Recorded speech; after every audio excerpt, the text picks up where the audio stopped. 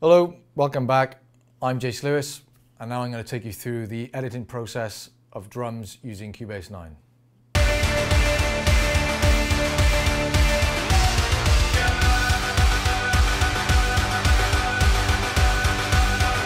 Now that I've, everything's triggered up um, with, uh, with my library kicks and library snares, um, I'm going to go in and start producing my, uh, my kit. So we'll start with a kick.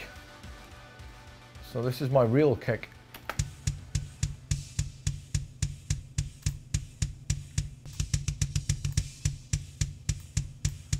So what I like to do first is see if there's any sounds in there that I don't really want. Um, so I go fishing for frequencies that I don't need.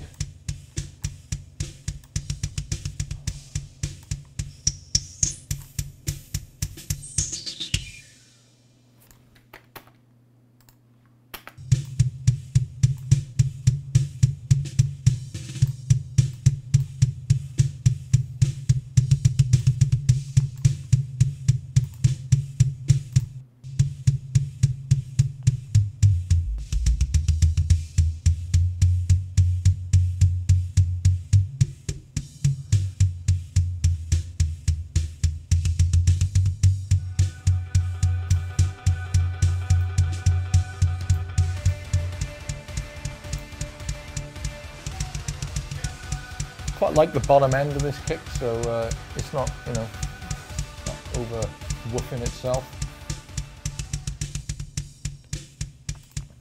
And I think what I'll also do is go into my SSL, try a bit of 8K, which gives you that hammer, um, just gives you that precision see if we can get away with a little, little more 60 hertz.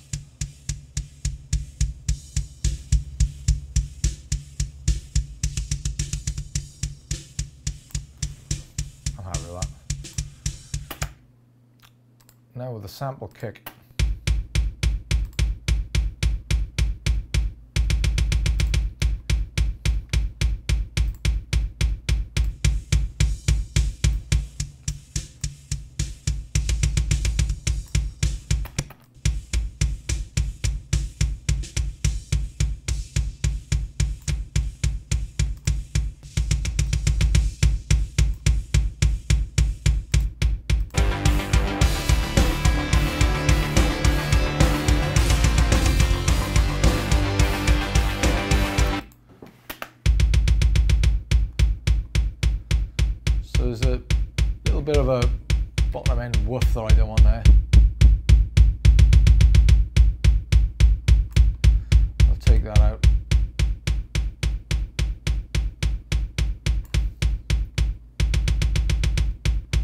Up the bell.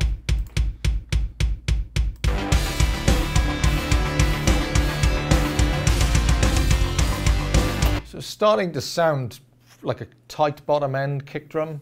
And that's really what we want him because, you know, um, it just helps the production. We don't want it too bass heavy because, you know, you want to make room for synths, especially with this type of music. You know, I got like sub synth and stuff that there's always a, a careful, um, got to be careful rather to, to that the sub doesn't take up the kick and, and vice versa in frequency. So we'll get to that later.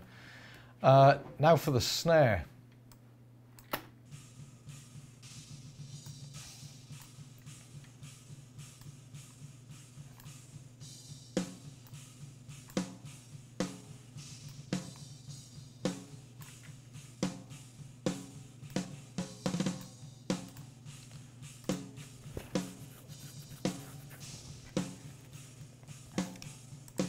Oh, so snare, I can hear, could do with a bit of 8K.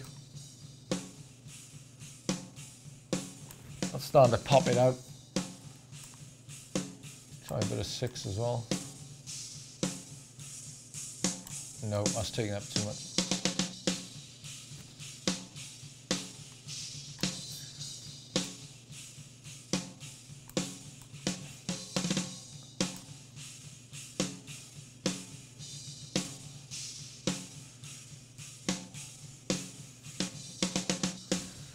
As this is the top snare, really what we're looking for is for that impact, that real whack kind of effect. Um, instantly putting on a bit of 8K on, on, on the EQ gives it that bit of uh, distinction and, and, and, conviction in the hit.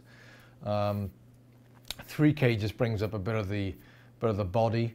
Um, so we've boosted we've boosted both um, by about 4 dB, 5 dB um, on on both. Now what I'm going to go for is uh, is my favorite little plugin, which is the DBX 160 uh, compressor. Um, and I'm going to compress the snare. Now, what I love about this plugin is very easy to use. Um, there's not too many things going on. So this is really going to help the um, conviction again on the snare by giving us, giving us a, bit, little more, more front end on it.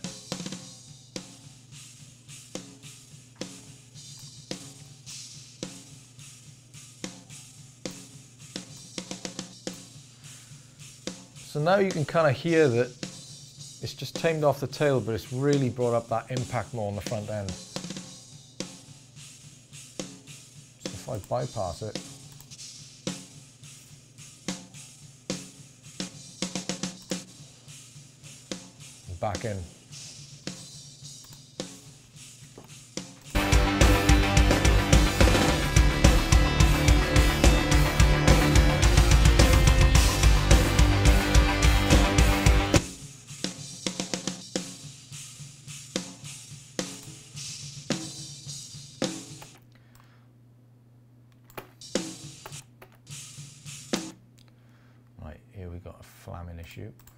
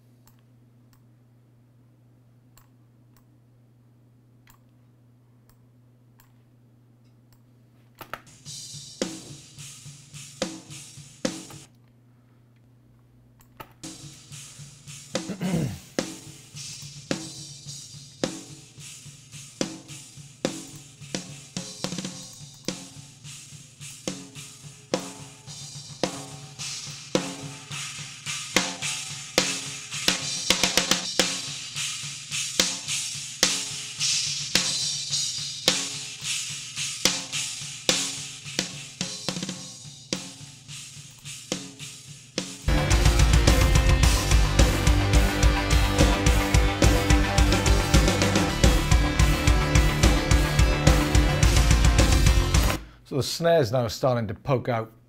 Um, there's a couple of flams there that needed to be sorted out with the snare and the sample. So just getting them right at the front of the transient, making sure that they are um, perfectly in time, um, just to give it that strength. Again, front of the transient, you can see where it just declines. That's the exact point of where we need to start our sample in sequence with our natural snare hit. Uh, next thing I want to do is to give a little, uh, little bit of reverb to our snare. Um, and so to do that, um, we need to create a group channel.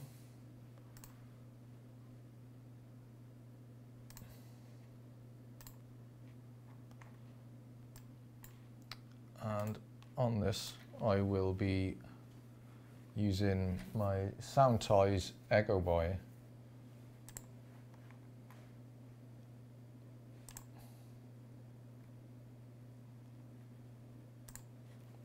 and I'll go to my EQ on my real snare top and I will send that to the group that I have just created.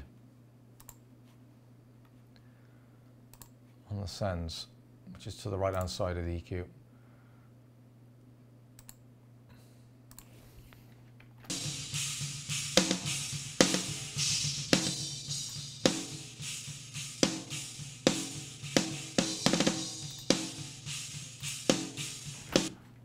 Um, what I usually go for on this is reverb, sort of something like cave echo. And the beauty about sending it to a group is that on the mixer, I can creep in the noise. So what I often do is I put the mix up full on the Echo Boy and I creep in on the back end of the send for the snare the reverb effect that I want.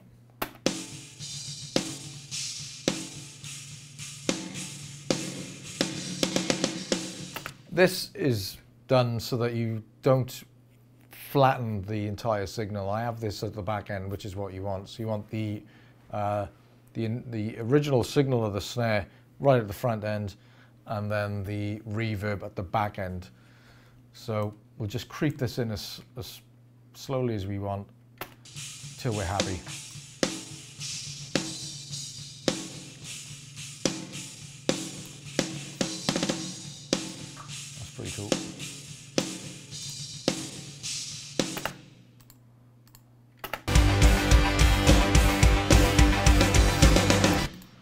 Also do the same with my sample, send that to the group.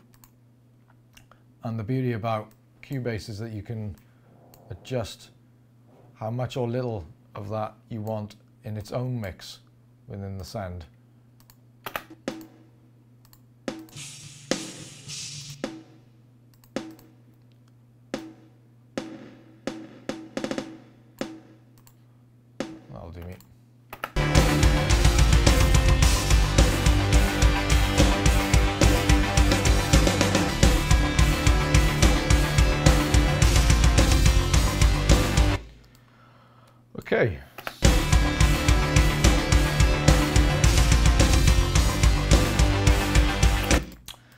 Let's look at the hat. What's the next thing?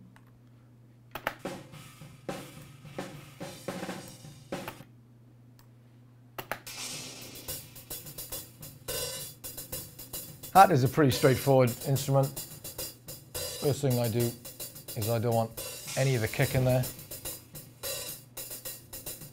So I get a low cut.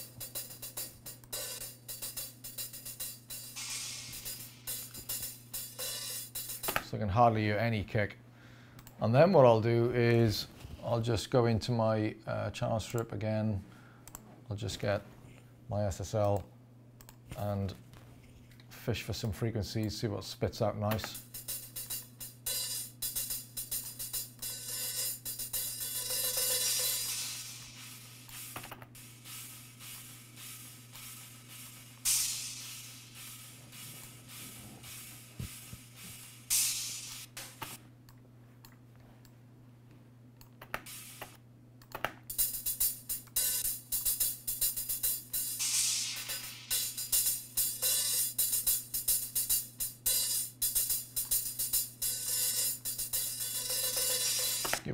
A bit of a 9 to 10k boost just to give it a bit of sizzle.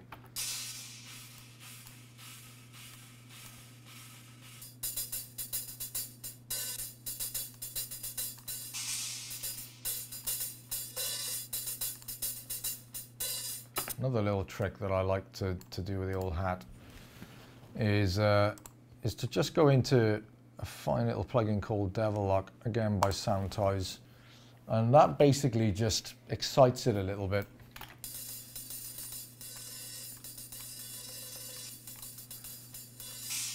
So if I have it on its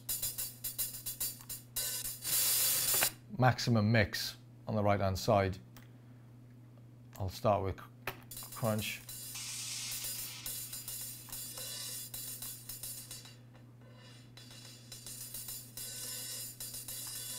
Bit of darkness there.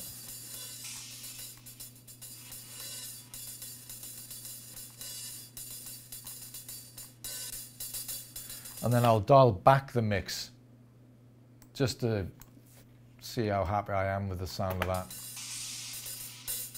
So that's natural.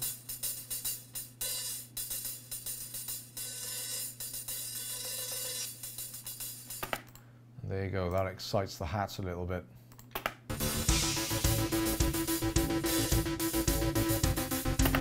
Now, bearing in mind, the hat you want it, I set it to the perspective of the drummer. So my hi-hat is to my left, so it's important to pan it to the left. Um, I've got mine at about 62% over. Um, you can either go really hard, which would mean that the hi-hat would almost be behind me. Um, but uh, I like to have it almost sort of direct to my left. And, and I do that in my production as well. I'm, i I, always do the drums from the perspective of the drummer. Um, and uh, panning is really, really important with, uh, with, with drums.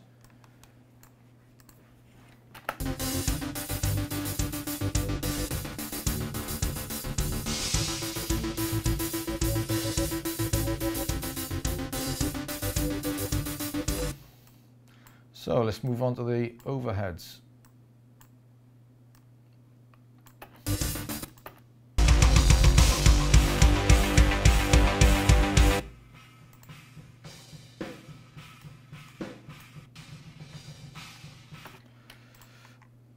The overheads, let's increase the size of these.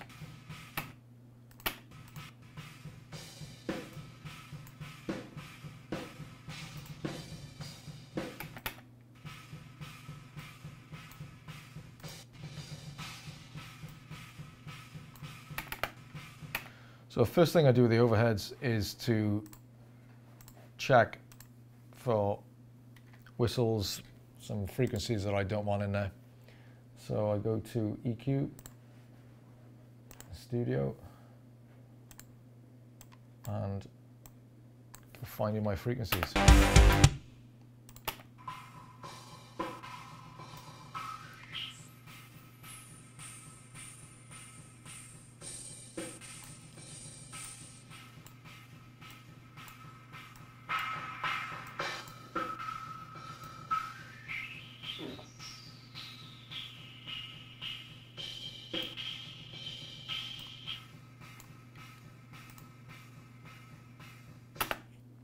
Now that I've uh, fished out the frequencies I don't like, um, I'll go into compression.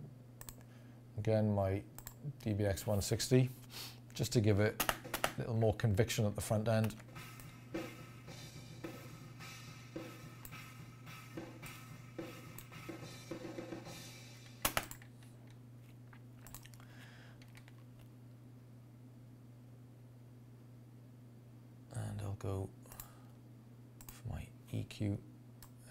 Again.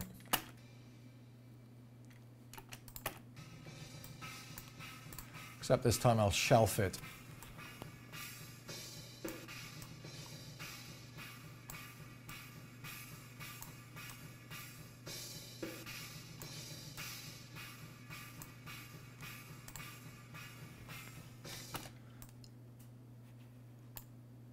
and on my mixer,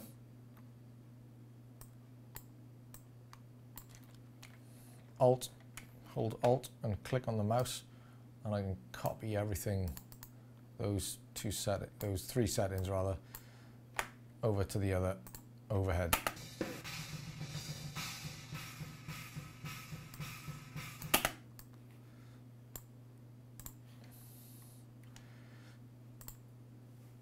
The final thing I want to do on this is to again open up my EQ and get the bottom end out.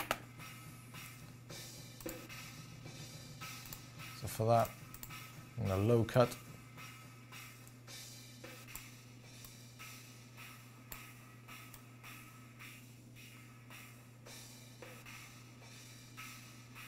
Usually around 400 hertz.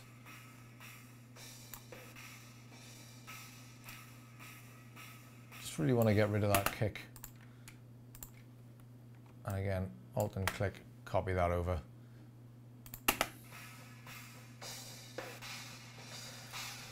So the overheads now are sizzling um, and they're really helping the snare when that kicks in as well. Um, so all together,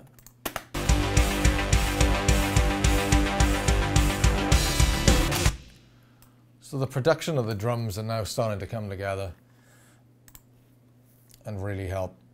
One thing I like to do in the mix is, as you'll see, my overhead left is panned hard left and overhead right is panned hard right. This gives you the entire stereo image of the kit and it's highly important. What I also like to do um, on the mix uh, is to pair my overheads and, and, uh, and my rooms. So to do that, I select my room left, shift and click room right and link these channels and I'll name them overheads. This is so that I can creep them in on the mix.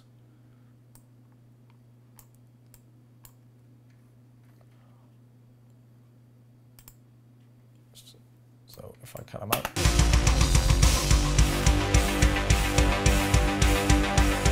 My overheads.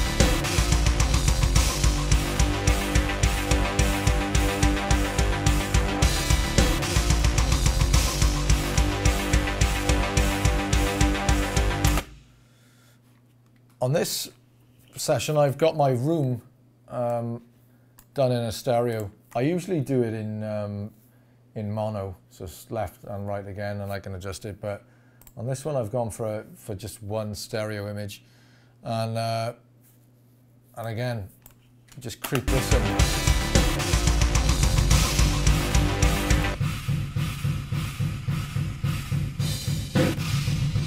So as you can hear on that room, there's a lot of uh, lot of boom, a lot of kick. So we're just going to get rid of that. And adjust that. So again, same process. Let's go and find some frequencies that we don't want.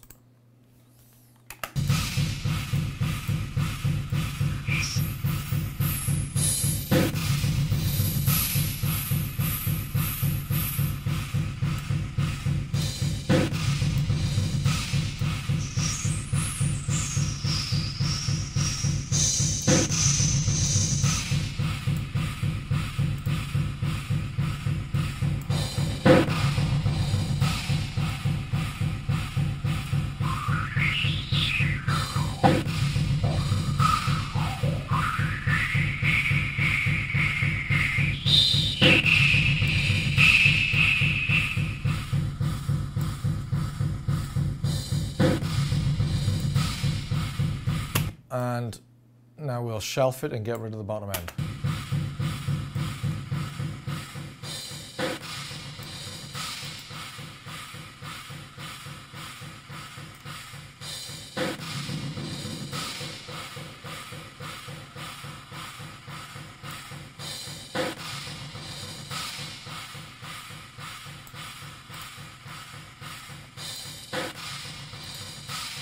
Go into EQ, give it a little more shimmer.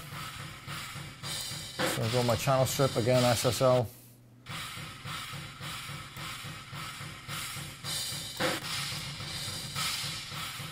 Find a frequency you really like. Around 10k, this kind of makes it feel really hi-fi and you know, it really does give it that sizzle. And let's check that out in the mix by creeping that in.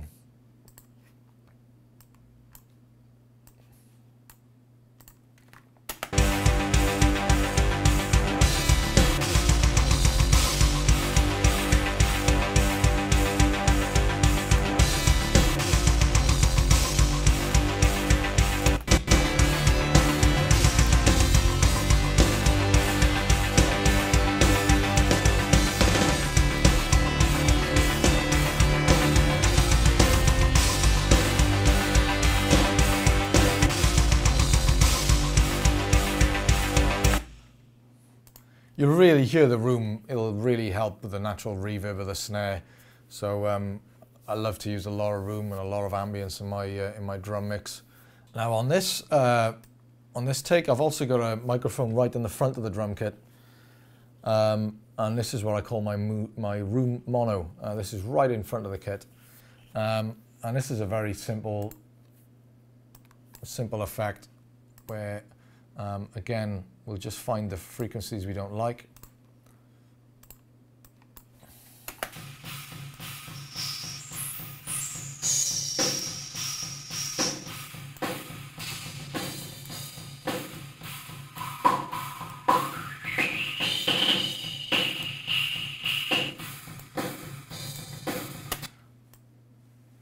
Like to do is high shelf and low shelf. Which gives us this almost underwater effect.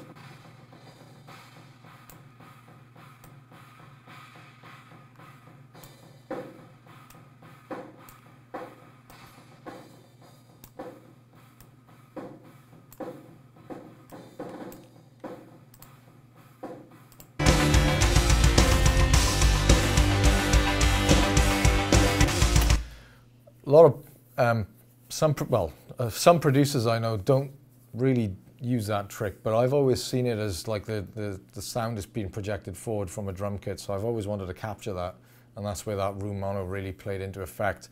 It seemed to open up the, the drums, it gave it more headroom again and, and more conviction on the snare, which is something I was always fighting for in production.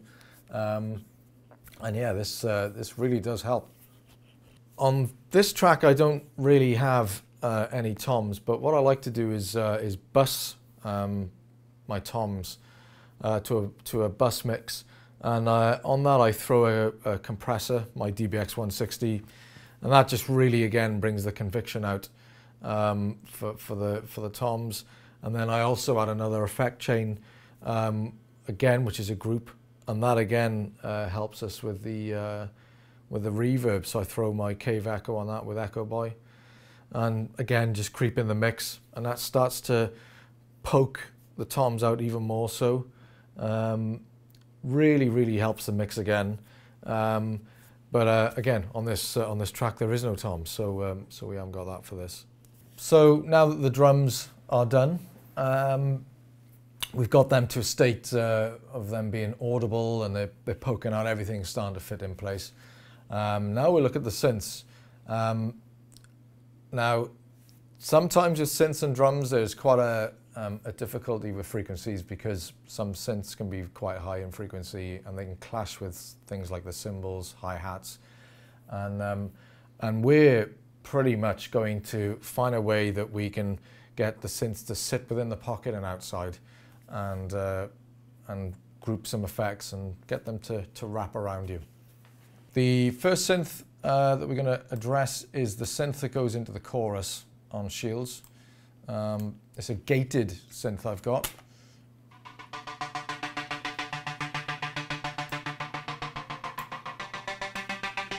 So first thing, first thing I want to look at is its panning. So if I turn it to stereo.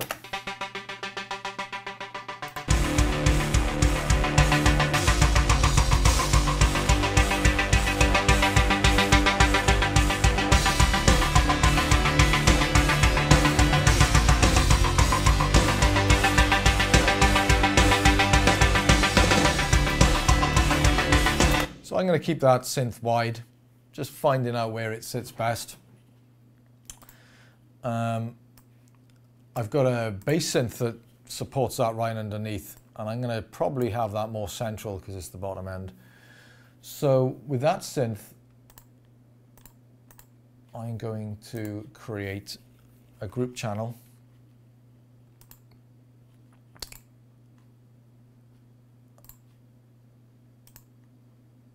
And this group channel again will enable me to um, bring creep in some effects like reverb and delay and that will really throw the synth and it'll start to engulf the listener.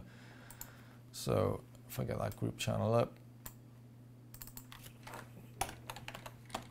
synth delay,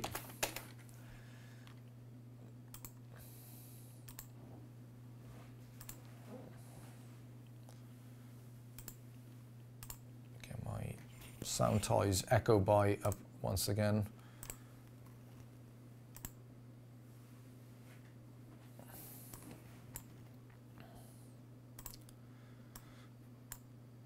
Mix. Okay, so I've got Echo Boy. What I want to do now is assign this to my synth delay group.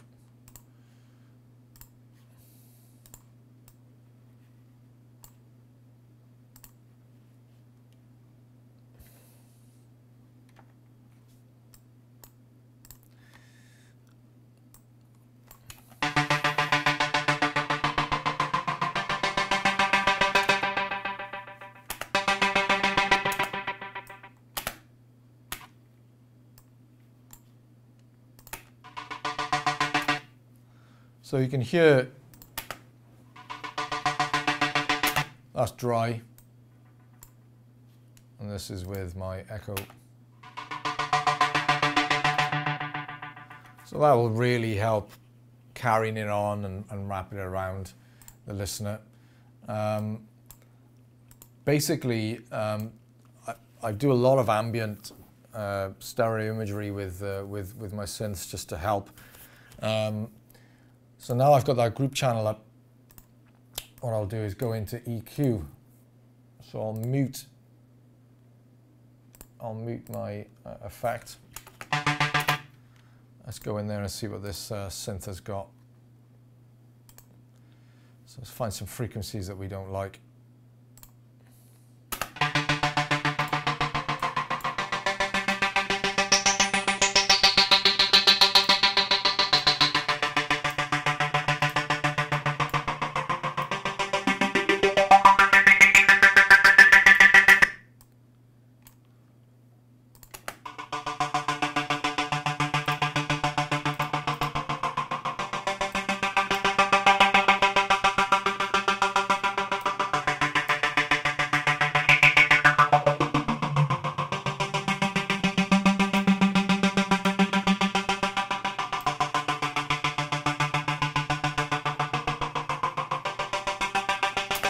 Because I've got a bass synth in this as well, I think what I'll do is just low shelf the bottom end and make this sizzle more on top.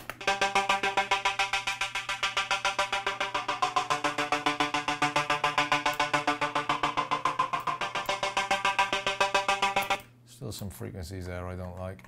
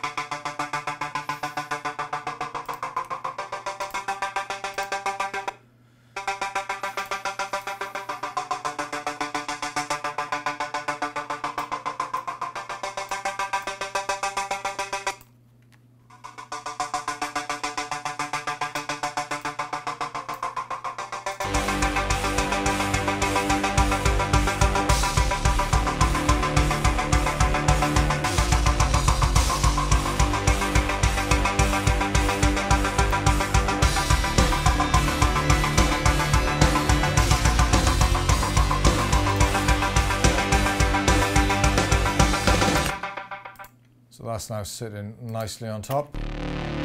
This is my synth, my end synth. That, this is my bottom end synth that I really want to um, get up the center. So if I turn that to uh, stereo pan combined, you can see um, what I'm going to do is just narrow this right down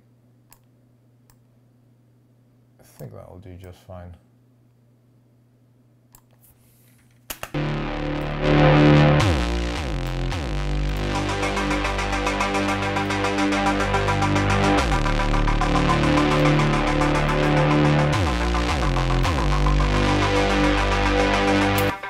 So by having that up the center and having my other synths really wide, you can start to hear a bit of an ambient going on. The, the bottom end synth is right up the center, smashing your teeth, and then you've got these other synths that are just wrapping around your head.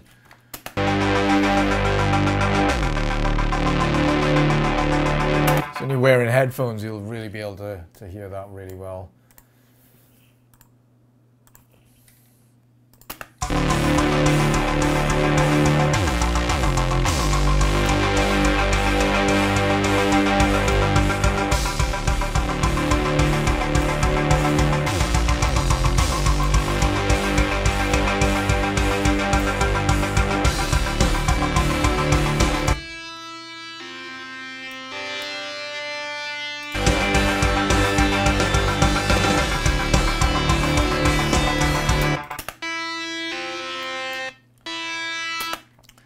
Lead synth there, really want that to have a nice bit of reverb. So again, go to a go to your group channel.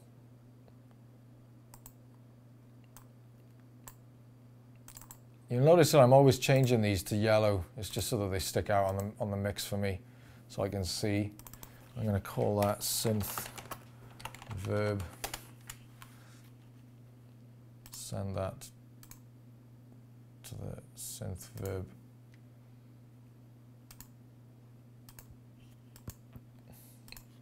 So on this, I'm going to go again for, for my Echo Boy, by Soundtoys. Uh, go to reverb cave echo.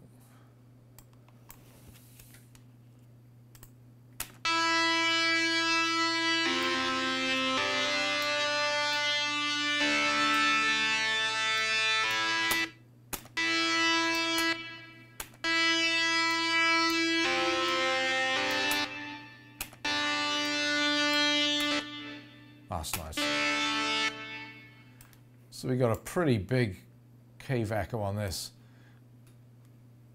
Will really, really sit it on top and glisten.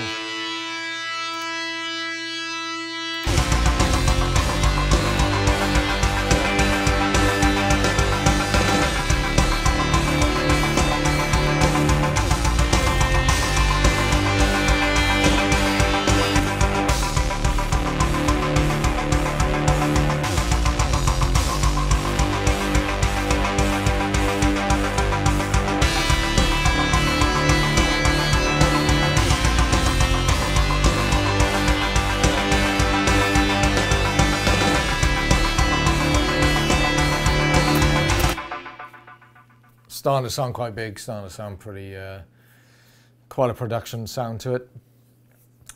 And uh, there you go, that's how you do synths, to sit them in with drums. Panning, very, very important.